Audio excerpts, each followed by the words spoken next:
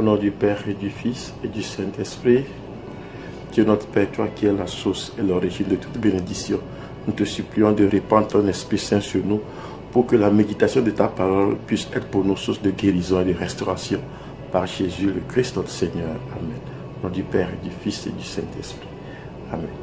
Bien-aimés dans le Seigneur, les textes liturgiques de ce 32e dimanche du temps ordinaire nous parlent de la générosité.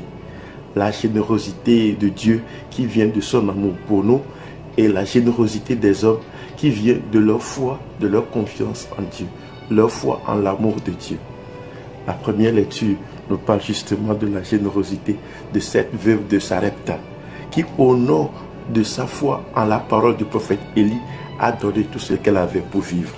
Et nous avons vu les conséquences, c'est le miracle. Dans la deuxième lecture, eh bien, le texte liturgique nous présente Jésus comme celui qui se donne totalement pour nous, pour que nous ayons le salut. Pourquoi? À cause de son amour pour nous, la générosité de Dieu. Et dans l'évangile, en matière de foi, Jésus nous présente deux attitudes. L'attitude des pharisiens scribes, des maîtres de la loi, qui au nom d'une foi hypocrite, je dirais fallacieuse, eh bien, au lieu de chercher Dieu, cherchent leur propre gloire. Ils se cherchent eux-mêmes. Et de l'autre côté, nous voyons la veuve de l'évangile qui, par amour pour Dieu, donne tout ce qu'elle avait. Bien-aimés dans le Seigneur, les pharisiens les scribes, les maîtres de la loi, n'étaient pas des personnes mauvaises. Ils étaient des hommes, des gens bien intentionnés. Ils voulaient servir Dieu. Ils étudiaient sérieusement Dieu.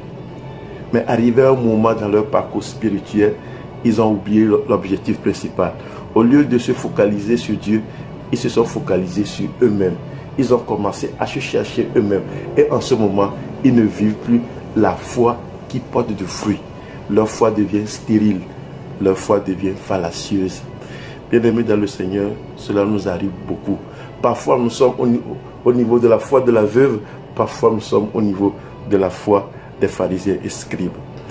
Les textes liturgiques de ce dimanche nous invitent à repurifier notre foi, à avoir cette foi généreuse qui se donne totalement à Dieu, qui cherche la gloire de Dieu et le salut des âmes.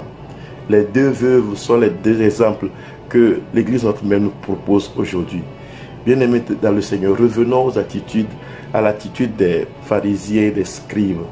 Ces hommes bien intentionnés et qui finissent à l'adoration de soi, qui finissent à se diviniser eux-mêmes, qui finissent à chercher leur propre gloire.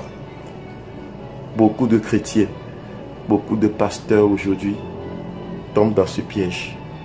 Nous commençons très bien lors de nos baptêmes, lors de nos premières communions, etc. Nous sommes très fervents.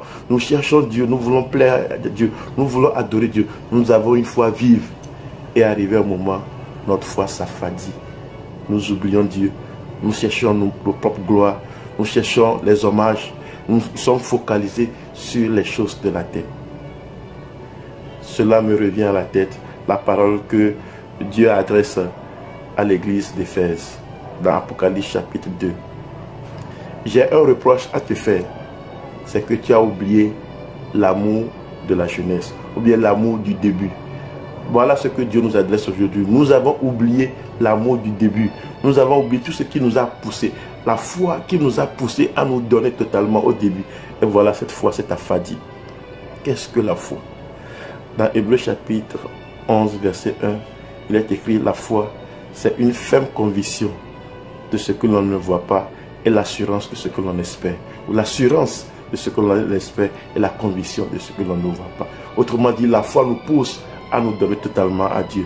La foi nous pousse à être généreux envers nos frères et sœurs. La foi nous transforme en fils de lumière. Nous devenons signe de la présence de Dieu auprès de nos frères et sœurs. Bien-aimés dans le Seigneur, en ce moment de pandémie, nous sommes tous invités à être signes de l'amour de Dieu au nom de notre foi. Que Dieu Tout-Puissant nous fortifie, qui nous guide au nom du Père et du Fils et du Saint-Esprit. Amen.